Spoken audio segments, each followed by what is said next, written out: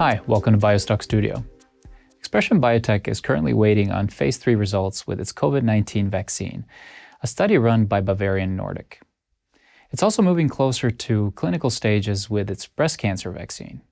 The company is now carrying out a rights issue of approximately 102 million Swedish kroner. And here to tell us more is the company's CEO, Bent Frandsen. Welcome, Bent.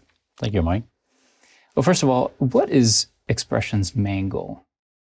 Our main goal is to save lives, and we do that by developing vaccines against uh, the most fatal and life debilitating diseases around.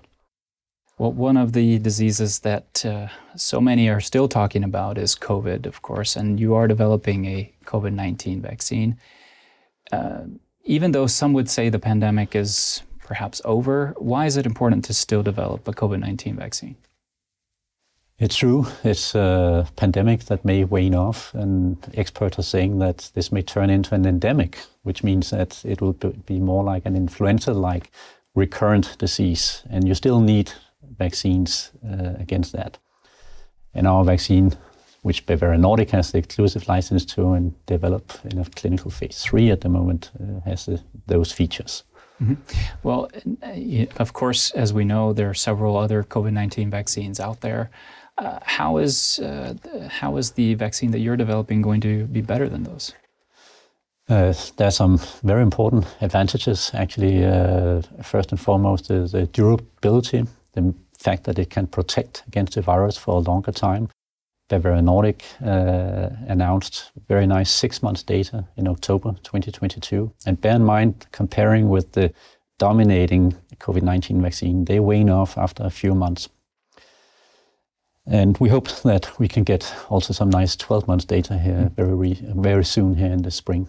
Mm-hmm. Uh, on top of that, uh, you have a very strong effect against all variants of concern and a very nice uh, stability. So it can be even handled at room temperature, which is good for also uh, regions uh, of subtropical and tropical parts of the mm. world. Will that be uh, one of the main markets then for you, the, the subtropical, tropical? now I'm speaking on I, I, cannot speak on Bavarian Nordic's behalf, actually, uh, mm. but but uh, I would assume so. Yeah. Your uh, second asset uh, is a breast cancer vaccine. What results have you seen so far with this candidate? We've seen very nice preclinical proof of concept. Uh, we've again in several uh, preclinical studies shown that our breast cancer vaccine has the capability to block grow, growth of tumors and even block the development of tumors. Mm. So that's very encouraging. Absolutely. And uh, what does the competitive landscape look like there? Here we look into standard of care being dominated by chemotherapy and monoclonal antibodies. Uh, monoclonal antibodies generate more than $11 billion of annual sales, but they actually come with a uh, flaw. Uh, they can develop resistance. That means that 20 to 30 percent of women undergoing uh, breast cancer monoclonal therapy will not get a benefit from that uh, therapy at all. We've seen in preclinical setting already that we can overcome that resistance. You also engage in several partnerships. Uh, could you tell us a little bit more about these partnerships and if you're currently looking for new partners as well?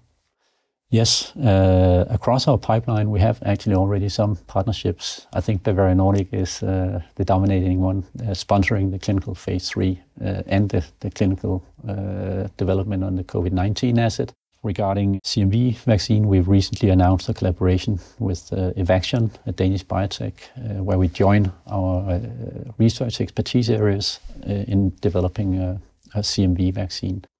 We also have a number of academic collaborations, both in uh, in malaria as well as, as in another influenza project. Mm-hmm.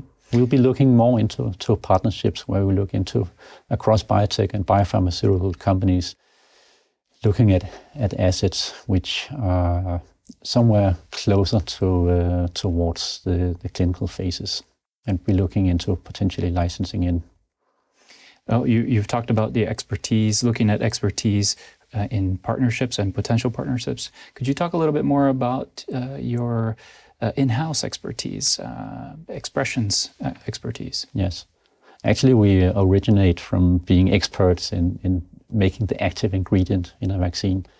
So when we started in 2010, we had our technology to produce protein antigens, and that's still a key expertise area.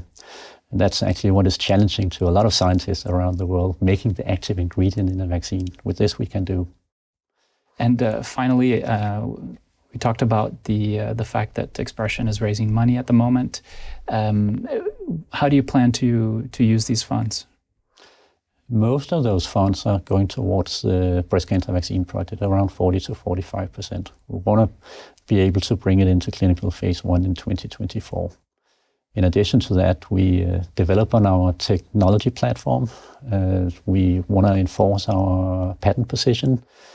And we have some very strong research backing this up, which requires more financial resources. And then thirdly, looking into partnerships, meaning being ready also to actually take on board new new partnerships in that setting.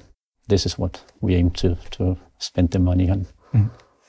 That was our conversation with uh, ExpreS2ion Biotech's CEO, Bent Frandsen. Thank you so much, Bent, for joining us today. Thank you, Mike.